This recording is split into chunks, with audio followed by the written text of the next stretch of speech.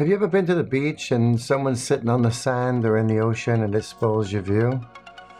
Well, today we're going to do some magic and make them disappear.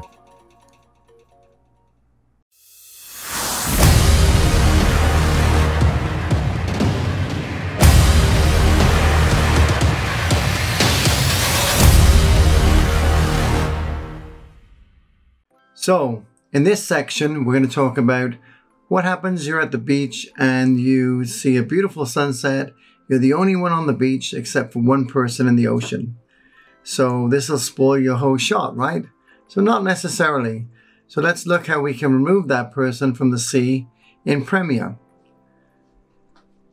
So the first thing we're going to do, this is a clip of this lady in, in the ocean here. The rest of the beach is open, like we said. First thing to do is click on this video one panel, press the alt key, drag it up, release the left key on your mouse, and then the alt key. All right, and then we have two uh, layers exactly the same. Make sure that we're clicked on the top layer. We're going to go to opacity, and then we're going to click on the pen tool, and we're just going to make a mask around this person here a little bit up into the sand, just like so. Next thing we'll do is we'll turn off the layer for the lower area. And then we're going to click back on the top one and then do invert. So now we can see this is our mask area. Okay, what we can do too is click on mask feather and mask expansion. We're just going to move mask feather a little bit more. Nothing too big. An expansion just a touch maybe. Okay. So now we'll come back down here, turn this layer back off on the lower layer, and it looks normal. We've made the mask. Click on the lower layer, go up to the x-axis and just move her out of the way like this. We'll also see that I want the shoreline to match, so I'm gonna just Bring that down a touch like so. And then that will show us that, you know, effectively we removed her. But we need to play around with some of the little things here. So what we need to do is you can see that this uh, area here, you can see the square of the mask. So we need to click on the lower layer, go to the color effects, and then just try to manipulate this a little bit. You can see it's lighter.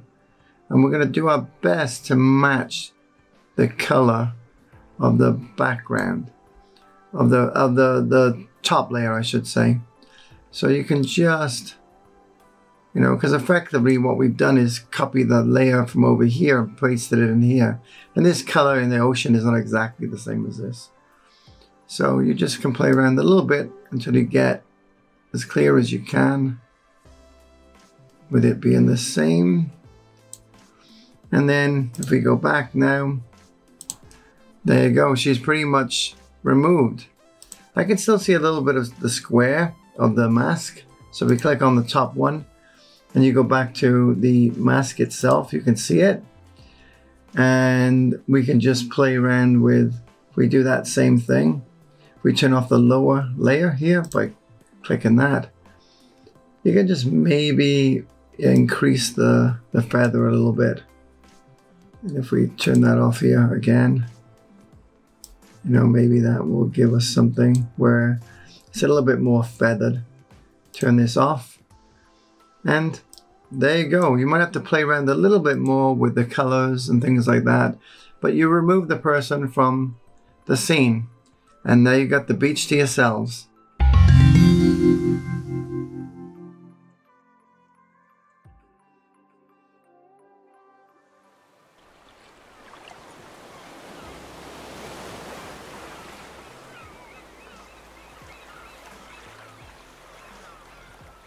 So let's take this one step further and we'll do another one where it's a little bit more difficult because the guy's stretching uh, over the sea and then we'll see what we can do with that. So for this one, we already have um, this guy on the beach here. Uh, notice that when he stretches though, he stretches up into the mountain area up here, so be aware of that. So let's click on this first. Hold down your left mouse key, press Alt, and then drag a copy up. Re remove your left mouse key first, and then the Alt key. That makes a duplicate layer. Now what we're going to do is click on this top layer, go to opacity here, click on the pen tool, and just I'm going to go above the clouds here just a bit, the mountains I should say, and come down to about here. Just make a box around him like so. And then if we go down to turn off the lower layer, and then we say invert, we have this. I'm going to click on mask feather and mask expansion. And now I'm just going to feather it a little bit. It's already at 10%. I'm just going to do a little bit more. Let's see what that looks like. 13 or something. An expansion just a little bit maybe. Okay. Now what we can do is turn this back on and then click on the lower layer, layer here and then move the X value on the position. Move that so that he will disappear. And what I'm looking for here is just that we can match up sort of these mountains a little bit. Now if we scrub through there, we want to make sure when he's exercising, you can see right here that I just see his, his arm here. So again, all we have to do here is click on where your mask is so you can see it. In this case, we can just either increase the mask, you can move it so he just disappears, like so or we can just expand it a little bit to this area. So now if we click off the mask again here and we scrub through this, we will have the guy gone. Again, we can see this the box that we made here. And what you can do is also feather this a little bit more. See if we can blend that in like so. Looks pretty good, exactly right there. You also might have to go to the color section as before and click on the lower box here and then just as you can see try to play around with the colors to match them as best you can.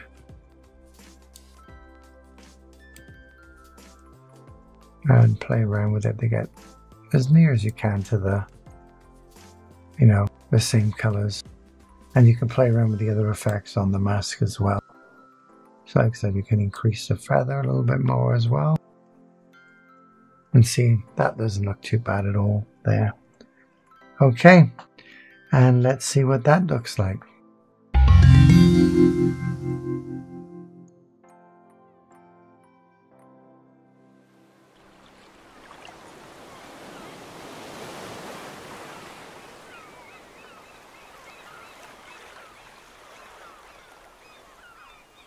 So if this type of thing appeals to you and you want to take your skill to the next level, then check out our website for more information.